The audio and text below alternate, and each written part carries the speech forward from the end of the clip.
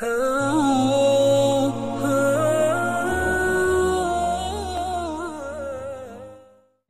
کے بعد میں اسی حلقے کے ایک اور ساتھی ہیں، محمد عمر۔ ان کو دعوت دیتا ہوں کہ وہ آئیں اور استغفار کی فضیلت پر اپنی تقریر پیش کریں۔ محمد عمر۔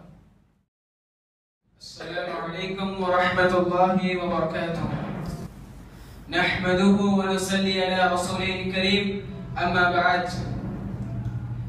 رب اشرح لي صدري ويسر لي أمري واحلل عقدة من لساني يفقهوا قولي؟ آمين يا رب العالمين. هر قسم کی تعریف توصیف اس اللہ رب العالمین کے لیے لائق اور زیبا ہے جو ہم تمام کا خالق اور مالک ہے لاکھوں کروڑوں درود و سلام ہو تمام انبیاء کرام پر خصوصا ہمارے آخر نبی نام اسم گرامی جناب محمد رسول اللہ صلی اللہ علیہ وسلم پر. کہ جن کو اللہ تبارک و تعالی نے رحمت للعالمین بنا کر ہمارے بیچ مبوس فرمایا محترم سامعین اکرام، بزرگوں، دوستوں اور پردے میں بیٹھ کر سننے والی باوقار باعزت خواتین اسلام، ماں اور پیاری بہنوں، آج میرا عنوان ہے استغفار کی فضیلت۔ بنیادی طور پر ہر انسان چاہتا ہے کہ اسے زندگی میں چین چاہیے، سکون چاہیے، کامیابی چاہیے، سعادت چاہیے، خوشبختی چاہیے خوش نصیبی چاہیے۔ عقبہ بن عامر رضی اللہ تعالی عنہ کی بات کو غور سے سنیے۔ اللہ کے ذن نجات کیا ہے؟ قال لا يذالك لسانك رطبا من ذکر اللہ۔ تمہاری زبان اللہ کے ذکر سے تر ہو، دنیا میں بھی نجات ہے، آخرت میں بھی نجات ہے۔ آپ تمام کثرت سے استغفار کریں چلتے پھرتے استغفر اللہ الحمدللہ لا الہ إلا اللہ لا حول ولا قوة إلا باللہ حسبنا اللہ و نعم الوکیل آپ تمام. اس کی لذت دیکھیں کہ آپ کی زندگی میں کیسے آتی ہے اور قرآن کیا فرماتا ہے فَقُلْتُ اسْتَغْفِرُوا رَبَّكُمْ إِنَّهُ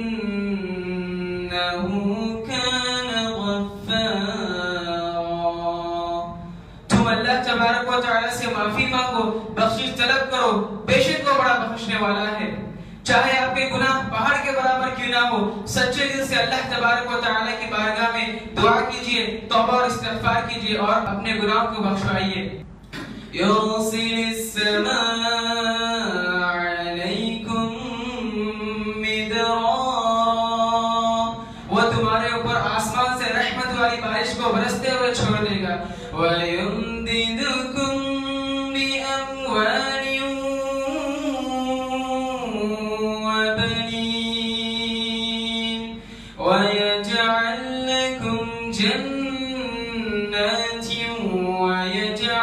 لَكُمْ أَنْهَارًا۔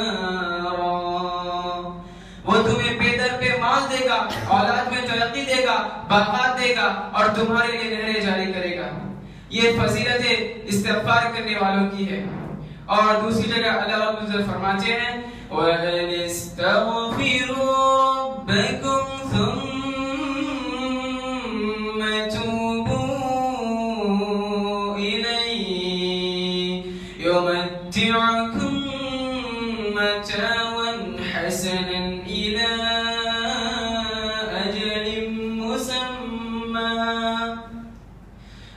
تبارک و تعالیٰ کا کثرت سے استغفار کیجیے۔ آج ہماری شکایتیں ہیں۔ جسمانی کمزوری، مالی کمزوری، خاندانی کمزوری، ملی کمزوری کی شکایتیں ہیں۔ ان تمام کمزوریوں کو قوتوں میں بدلنا چاہتے ہو تو اس کا علاج کیا ہے؟ وَيَا قَوْمِ اسْتَغْفِرُوا رَبَّكُمْ ثُمَّ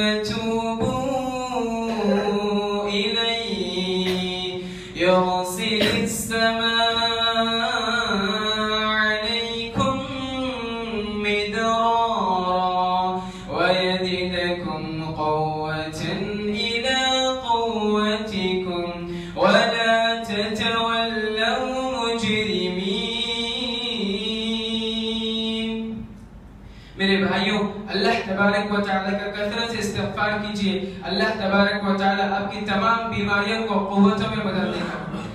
ایک بار امام احمد بن حمل رحمت اللہ علیہ جو اپنے وقت کے بہت بڑے امام گزرے ہیں، وہ گھر سے باہر نکلے۔ مسجد کی طرف روانہ ہوئے۔ کہتے ہیں کہ لیٹ ہو گیا ہوں۔ مسجد والے سے کہا، بھائی تھوڑا آرام کا موقع دیجیے۔ کہا، نہیں نہیں، ہمارا نظام ہے یعنی کچھ ہو سکتا۔ اچھا چلیے۔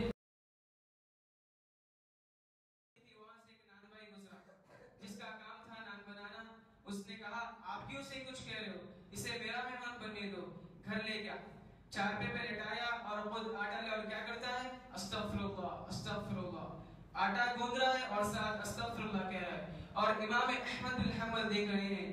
پوچھتے ہیں، آپ کو استغفار نے کچھ فائدہ بھی دیا؟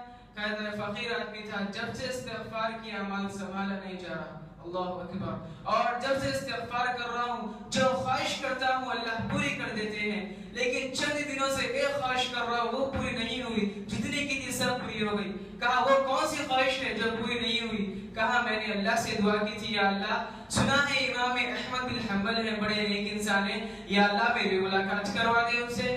وہ تو وہی ہوں۔ وقت جرر جو لے کا جرو آج میں گھر سے نکلا، شاید فرشتہ تیرے ساتھ ملانے مجھ کو لے کے آیا تھا۔ ملزم الاستغفار جعل الله له من كل هم فرجا ومن كل ضيق نخرجا ورزقه من حيث لا يحتسبون جو سے استغفار کرتا ہے اللہ اس کی تنگیوں کو آسانیاں بنا دیتے ہیں۔ اللہ اس کی مصیبتوں کو خوشی بنا دیتے ہیں اور وہاں سے رزق عطا کرتے ہیں جہاں سے اس کو کبھی گمان بھی نہیں ہوا۔ آخر میں میں اللہ تبارک و تعالی سے دعا کرتا ہوں کہ اللہ تبارک و تعالی ہمیں استغفار کرنے کی توفیق عطا فرمائے۔ اور جب تک زندہ رکھے، ایمان و اسلام پر زندہ رکھے، اور جب ہمارا خاتمہ ہو تو ایمان بالخیر پر ہو اور ہمارے زبانوں پر کلمہ لا الہ الا اللہ جاری ہو۔ آمین۔ السلام علیکم۔ ورحمۃ اللہ وبرکاتہ